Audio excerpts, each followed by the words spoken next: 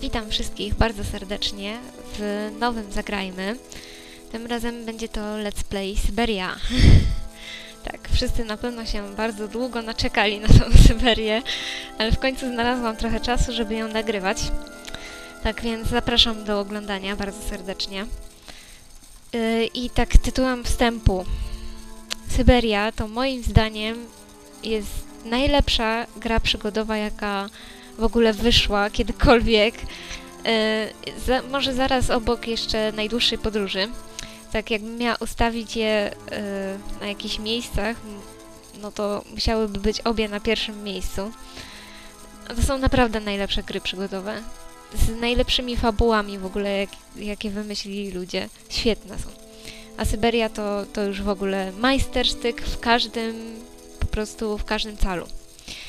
E, twórcą Syberii jest, y, teraz pewnie źle wymówię, ale nie znam się na francuskim, bo on jest chyba Francuzem, tak mi się wydaje. E, twórcą jest Benoit Sokal, e, a producentem firma Microids, tak jak żeśmy widzieli.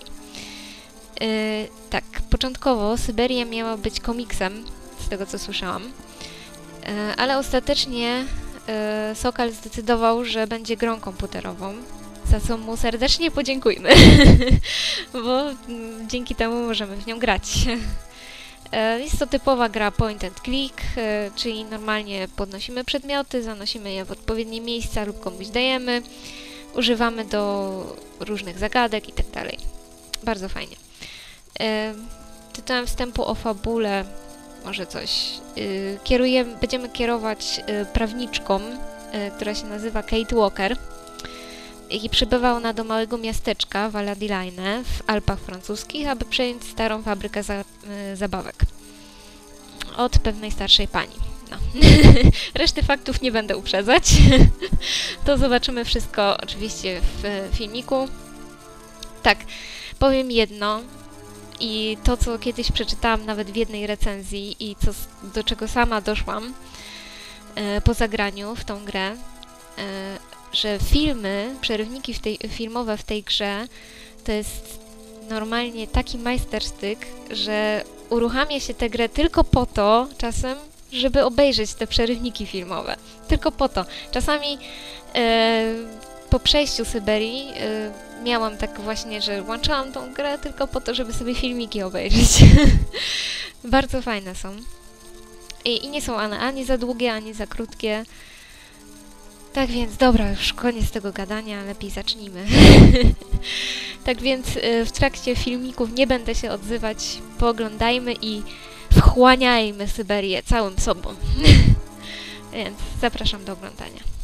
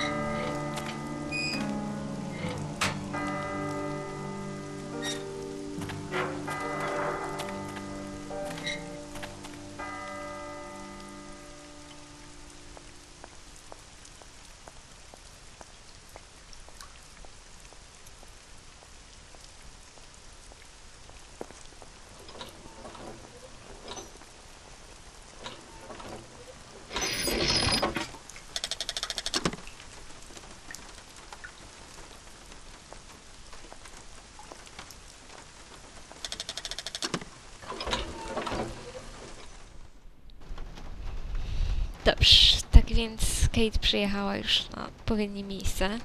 Trafiła do hotelu. e, widzieliśmy w filmie dość ciekawą scenę, e, jak e, została wieziona jakaś trumna z napisem Anna do kościoła. I co najciekawsze, właśnie nie było tam normalnych ludzi, żałobników, tylko jakieś automaty. no cóż. Dobra, więc rozejrzyjmy się. Naprawdę nie mam już siły nosić tej walizki. Ciekawe, kto mógłby mi pomóc? E, dobra. Co tu mamy ciekawego?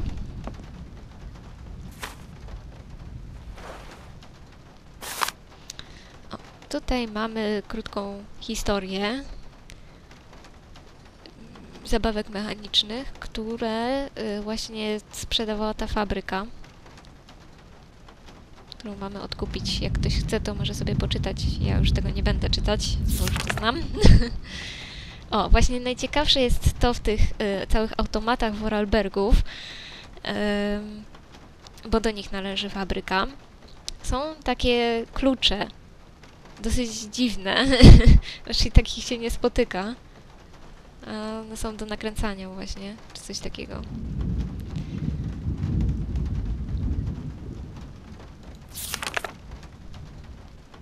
O, zaż- Rudolf Vorarlberg zarządzał fabryką w latach jej świetności. Potem go spotykamy w Syberii 2. Dobra. Co tu jeszcze ciekawego można zrobić? Przejdziemy się w tę stronę. O, jedyne co chyba denerwuje w Syberii, przynajmniej mnie, to jest to, że ap y, April, Boże, za dużo grałam w najdłuższą podróż. E, Kate zatrzymuje się przy schodach e, podczas biegania, e, co jest dość irytujące. jak Ona nagle biegnie i tak nagle się zatrzymuje i żeby wejść na te schody. no ale cóż, no. Potem w Syberii 2 to poprawili. Zdecydowanie fajniej się tam chodzi niż tutaj. Ale cóż. To kim ty Cześć. jesteś, chłopcze? Hej, cześć! Co robisz? Mogę spojrzeć? Nie, za trudne. Trudna bardzo praca, co robi mamo. Dobra. Jakąś trudną pracę wykonuje. Chłopiec na stole. Więc masz na imię Momo, a ja jestem Kate. Mamo lubi Hans. On ładnie rysuje. Hans? Nie przeszkadzaj, mamo. Mamo pracuje i praca trudna bardzo. Pokażesz mi, co tam układasz? Nie, bo jeszcze nie koniec pracy. Odejdź. Spoko. Nie nerwowo. No i właśnie jak rozmawiamy z postaciami, to po- nam się pojawia taki notatnik, powiedzmy, yy, którym możemy wybierać tematy rozmów. Nie możemy wybierać konkretnych yy, opcji dialogowych, tylko po prostu tematy. Właśnie przyjechałam. Moja walizka jest bardzo ciężka. Pomożesz mi wnieść ją do mojego pokoju? Mamo jest silny, bardzo silny, ale mamo nie ma czasu. Mamo pracuje teraz. Mm, Dobrze. Skoro nie masz czasu, to trudno. Chyba nie będę ci przeszkadzać, co? Takim wyrzutem to powiedziała. Dobra, i tutaj na prawym przycisku możemy sobie włączyć y, nasz em, ekwipunek. tutaj będą nam się pojawiać rzeczy, które zbierzemy. W notesie mamy te wszystkie nasze rozmowy. I mamy telefon komórkowy, proszę Państwa, przedpotopowy. Taki dosyć. Możemy się łączyć y, z biurem, czyli tam, gdzie pracuje Kate. E, to jest mama Kate, Olivia to jest jej przyjaciółka, e, Dan to jest jej chłopak, tak, Kate ma chłopaka. No i tyle. I oczywiście można też wstukać własny numer, co wykorzystamy w późniejszej e, przygodzie naszej.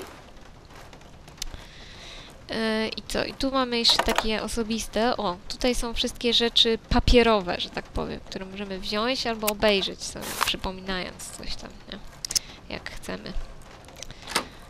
No i tutaj możemy oczywiście menu włączyć. y, zapisać sobie grę i tak dalej. Można zapisywać oczywiście w, w każdym momencie rozgrywki. Nie ma z tym problemu. Dobra, no to obejrzyjmy ten blat. W końcu musimy się dostać do tego hotelu. To znaczy dostać, no. E, naszego pokoju by się wypadało dostać. I tu nas czeka takie pierwsze zetknięcie z automatami i z zagadkami w ogóle w tej grze. Mamy taki dzwonek, który nie działa. Ale tu mamy kluczyk. I ten kluczyk nam posłuży do nakręcenia tego hopka.